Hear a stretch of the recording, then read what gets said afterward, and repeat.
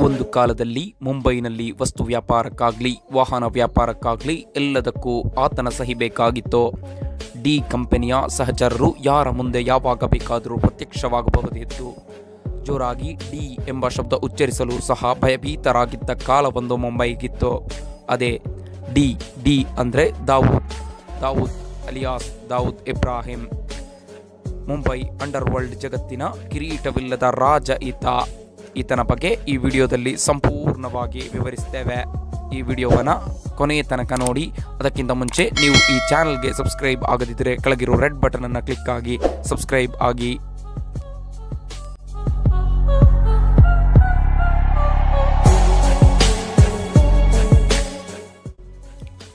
ದಾವೂದ್ ಇಬ್ರಾಹಿಂ ಈ ಹೆಸರನ್ನು ಕೇಳುವಾಗಲೇ ಒಂಥರ ಏನೋ ಭಯ, ರೋಮಾಂಚನ.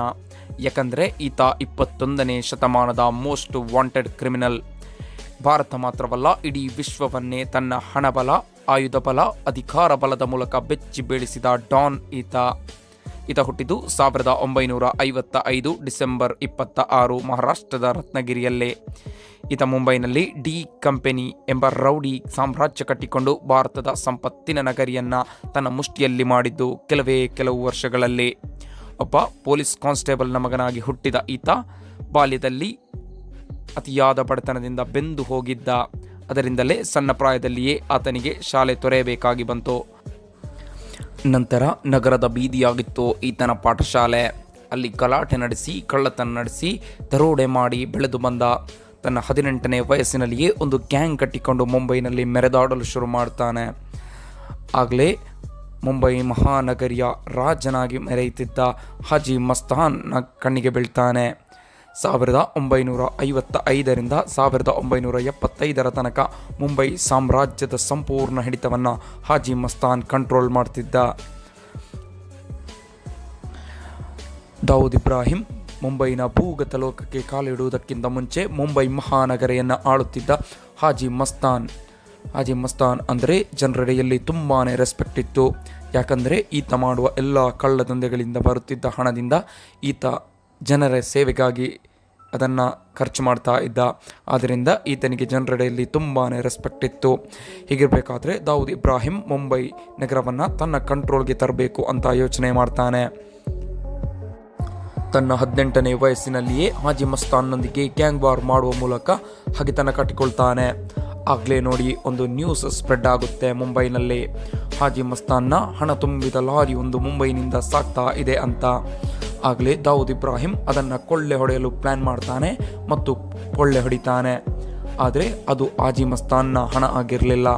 ದಾವೂದ್ ಇಬ್ರಾಹಿಂನನ್ನು ಸಿಕ್ಕಿಸಿ ಹಾಕಲು ಹಾಜಿ ಮಸ್ತಾನ್ ಹೂಡಿದ ಪ್ಲ್ಯಾನ್ ಆಗಿತ್ತು ಅದು. ಅದು ಮೆಟ್ರೋಪೊಲಿಟನ್ ಬ್ಯಾಂಕ್ನ ಹಣವಾಗಿತ್ತು. ಏನೇ ಆಗಲಿ, ಮುಂಬೈಯು ಭಾರತದ ಅತಿ ದೊಡ್ಡ ರಾಬರಿಗೆ ಸಾಕ್ಷಿಯಾಗಿತ್ತು. ಹಾಗೇನೆ ಈ ಕೇಸ್ನಲ್ಲಿ ದಾವೂದ್ ಇಬ್ರಾಹಿಂ ಅರೆಸ್ಟ್ ಆಗ್ತಾನೆ. ಆವಾಗಲೇ ಹಾಜಿ ಮಸ್ತಾನ್ನ ಮೇಲೆ ದಾವೂದ್ ಇಬ್ರಾಹಿಂಗೆ ಎಲ್ಲಿಲ್ಲದ ಕೋಪ, ದ್ವೇಷ ಜಾಸ್ತಿ ಆಗುತ್ತೆ. ಈ ವಿಷಯದಿಂದಾಗಿ ಮುಂದೆ ಮುಂಬೈನಲ್ಲಿ ಹಲವಾರು ಗ್ಯಾಂಗ್ ವಾರ್ ನಡೆಯುತ್ತೆ.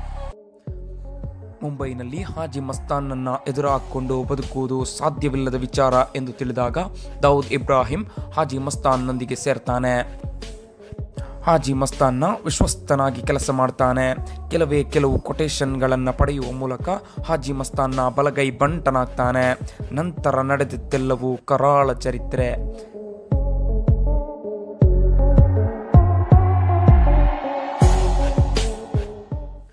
ವಿಶ್ವಸ್ತ ಮತ್ತು ಚತುರನಾಗಿದ್ದ ದಾವೂದ್ ಇಬ್ರಾಹಿಂನ ಕೆಲಸಗಳೆಲ್ಲವೂ ಹಾಜಿ ಮಸ್ತಾನ್ನಿಗೆ ಇಷ್ಟವಾಗತೊಡಗಿತ್ತು. ತನ್ನ ಸಾಮ್ರಾಜ್ಯವನ್ನು ನಿಭಾಯಿಸಲು ದಾವೂದ್ ಇಬ್ರಾಹಿಂಗಿಂತ ಒಳ್ಳೆಯ ವ್ಯಕ್ತಿ ಸಿಗಲಿಕ್ಕಿಲ್ಲ ಎಂದು ಅನ್ಕೊಂಡ ಹಾಜಿ ಮಸ್ತಾನ್ ತನ್ನ ಸಾಮ್ರಾಜ್ಯವನ್ನೆಲ್ಲ ದಾವೂದ್ ಇಬ್ರಾಹಿಂನ ಕೈಗೆ ನೀಡಿ ಸಮಾಜ ಸೇವೆಯಲ್ಲೂ ತೊಡಗ್ತಾನೆ. ಹೀಗೆ ದಾವೂದ್ ಇಬ್ರಾಹಿಂ ಹಾಜಿ ಮಸ್ತಾನ್ನ ಸಾಮ್ರಾಜ್ಯದ ಒಡೆಯನಾಗ್ತಾನೆ. ಆಗಲೇ ನೋಡಿ ಇಲ್ಲೊಬ್ಬ ವಿಲನ್ ದಾವೂದ್ನಿಗೆ ತಲೆನೋವಾಗ್ತಾನೆ. ಅದೇ ಕರೀಂ ಲಾಲಾ. ಕರೀಂ ಲಾಲಾನ ಬಗ್ಗೆ ಹೇಳಬೇಕಾದ್ರೆ, ಈತ ಮುಂಬೈನ ಅರ್ಧ ಪ್ರದೇಶದ ಒಡೆಯ. ಹಾಗೂ ರಾಜಕೀಯ, ಸಿನಿಮೀಯ ಜನರ ಸಪೋರ್ಟ್ನಿಂದ ಅತ್ಯಂತ ಪ್ರಬಲ ಸ್ವಾಧೀನ ಹೊಂದಿದ್ದ ಈತ ಪಠಾಣ್ ಬಾಯ್ಸ್ ಎಂಬ ಯಾವುದಕ್ಕೂ ತಯಾರಾದ ಅಫ್ಘಾನ್ ಗುಂಡಾ ಪಡೆಯು ಈತನ ಬಳಿ ಇತ್ತು. ದಾವೂದ್ ಇಬ್ರಾಹಿಂಗೆ ನಂತರ ದಿನಗಳಲ್ಲಿ ಕಾರಿಂ ಕರೀಂ ಲಾಲಾನೊಂದಿಗೆ ಗೆಲ್ಲಲೇಬೇಕಾಗಿತ್ತು. ಯಾಕಂದರೆ ಮುಂಬೈನ ಚುಕ್ಕಾಣಿ ಹಿಡಿಬೇಕಾದರೆ ಕರೀಂ ಲಾಲಾನು ಈತನಿಗೆ ತಲೆನೋವಾಗಿದ್ದ. ಅದರಿಂದ ಕರೀಂ ಲಾಲಾನೊಂದಿಗೆ ದಾವೂದ್ ಇಬ್ರಾಹಿಂನಿಗೆ ಗೆಲ್ಲಲೇಬೇಕಾಗಿತ್ತು. ನಂತರದ ದಿನಗಳಲ್ಲಿ ದಾವೂದ್ ಇಬ್ರಾಹಿಂನ ಡಿ ಕಂಪನಿ ಮತ್ತು ಕರೀಂ ಲಾಲಾನ ಪಠಾಣ್ ಬಾಯ್ಸ್ನೊಂದಿಗೆ ಹಲವಾರು ಗ್ಯಾಂಗ್ ವಾರ್ ನಡೆಯುತ್ತೆ.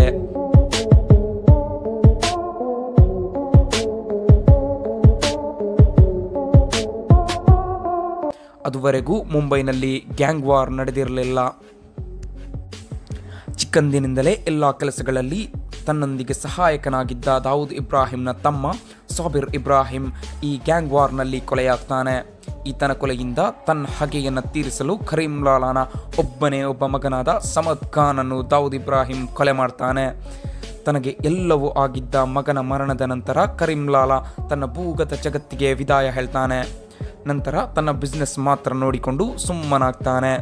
ಭೂಗತ ಜಗತ್ತಿಗೆ ವಿದಾಯ ಹೇಳಿ ತನ್ನ ಎಲ್ಲ ಅಧಿಕಾರವನ್ನು ದಾವೂದ್ ಇಬ್ರಾಹಿಂನಿಗೆ ಬಿಟ್ಟು ಕೊಡ್ತಾನೆ ತದನಂತರ ಮುಂಬೈ ಮಹಾನಗರಿ ದಾವೂದ್ನ ಕಂಟ್ರೋಲ್ಗೆ ಕಂಪ್ಲೀಟ್ ಆಗಿ ಬರುತ್ತೆ. ಆತ ಸೃಷ್ಟಿಸಿದ ಡಿ ಕಂಪನಿ ಇಡೀ ಭಾರತವನ್ನು ಸುತ್ತುವರೆಯುತ್ತೆ.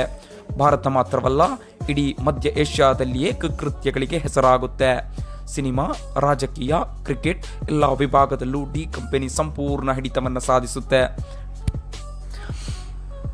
ದಾವೂದ್ ಇಬ್ರಾಹಿಂ ಇದುವರೆಗೂ ಕೇವಲ ರೌಡಿ ಡಾನ್ ಆಗಿ ಮೆರೆದಿದ್ದ. ಸಾವಿರದ ಒಂಬೈನೂರ ತೊಂಬತ್ತ ಮೂರರಲ್ಲಿ ಮುಂಬೈನಲ್ಲಿ ಬಾಂಬ್ ಸ್ಫೋಟ ನಡೆಸಿ ಇನ್ನೂರ ಐವತ್ತ ಏಳು ಮಂದಿಯ ಸಾವಿಗೆ ಕಾರಣವಾಗಿ ಟೆರರಿಸ್ಟ್ ಆಗಿ ಬದಲಾಗ್ತಾನೆ. ತದನಂತರ ಆತನನ್ನು ಭಾರತದಲ್ಲಿ ಕಂಡಿಲ್ಲ. ಆದರೆ ದುಬೈ, ಕರಾಚಿಯಲ್ಲಿ ಈತ ಲೀಲಾಜಾಲವಾಗಿ ಸಂಚರಿಸುತ್ತಿದ್ದ. ತದನಂತರ ಅಲ್ ಖೈದಾ ಐಸಿಸ್ನಂತಹ ಉಗ್ರ ಸಂಘಟನೆಯೊಂದಿಗೆ ಸೇರಿ ಹಲವಾರು ಜನರ ಸಾವಿಗೆ ಕಾರಣವಾಗ್ತಾನೆ. ಡ್ರಗ್ಸ್ ತಂದೆ ಈತನ ಮುಖ್ಯ ವ್ಯಾಪಾರವಾಗಿತ್ತು. ಇಂಡಿಯಾ ಮಾತ್ರವಲ್ಲ, ದುಬೈ, ಪಾಕಿಸ್ತಾನ ಮತ್ತು ಮಧ್ಯ ಏಷ್ಯಾದ ಎಲ್ಲ ದೇಶಗಳೊಂದಿಗೆ ಅಲ್ಲಿನ ಅಧಿಕಾರಿಗಳಿಗೆ ಲಂಚ ನೀಡಿ ಡ್ರಗ್ಸ್ ತಂದೆಯನ್ನು ಸುಲಭವಾಗಿ ನಡೆಸ್ತಿದ್ದ. ತನ್ನ ಹಣಬಲದ ಮೂಲಕ ದೊಡ್ಡ ದೊಡ್ಡ ಬಿಸ್ನೆಸ್ ಮೆನ್ಗಳನ್ನು ತನ್ನ ಕೈಯಲ್ಲಿ ಮಾಡ್ತಿದ್ದ. ಈತ ಮಾಡದ ಕಳ್ಳ ದಂಧೆಗಳೇ ಇಲ್ಲ.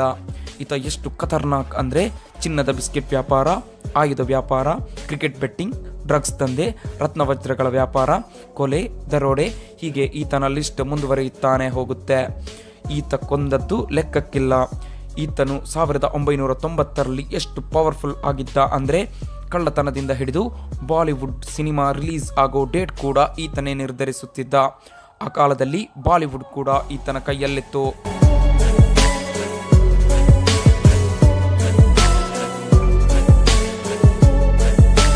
ಈತನನ್ನ ಮಟ್ಟ ಹಾಕಲು ಹಲವು ದೇಶಗಳು ನೋಡಿವೆಯಾದರೂ ಯಾವ ದೇಶಕ್ಕೂ ಕೂಡ ಸಾಧ್ಯವಾಗಿಲ್ಲ.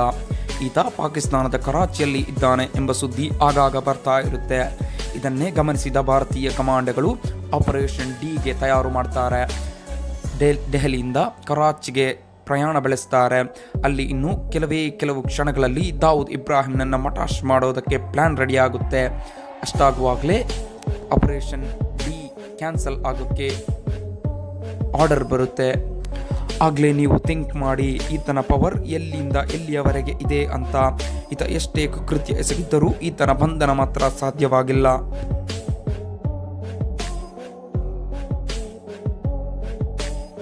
ಇಂತಹ ದೇಶದ್ರೋಹಿಗಳು ಇನ್ನು ಭಾರತದಲ್ಲಿ ಹುಟ್ಟದಿರಲಿ ಅಂತ ಆಶಿಸೋಣ.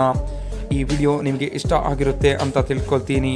ಇಷ್ಟ ಆದರೆ ಲೈಕ್ ಮಾಡಿ, ಇಲ್ಲಾಂದರೆ ಡಿಸ್ಲೈಕ್ ಮಾಡಿ ಶೇರ್ ಮಾಡಿ ಮತ್ತು ಮರೆಯದೆ ಮರೆಯದೆ ಸಬ್ಸ್ಕ್ರೈಬ್ ಮಾಡಿ. ಇನ್ನಷ್ಟು ಇಂಟ್ರೆಸ್ಟಿಂಗ್ ವಿಡಿಯೋಗಳೊಂದಿಗೆ ಮುಂದಿನ ಸಂಚಿಕೆಯಲ್ಲಿ ಭೇಟಿಯಾಗೋಣ. ಜೈ ಹಿಂದ್, ಜೈ ಕರ್ನಾಟಕ.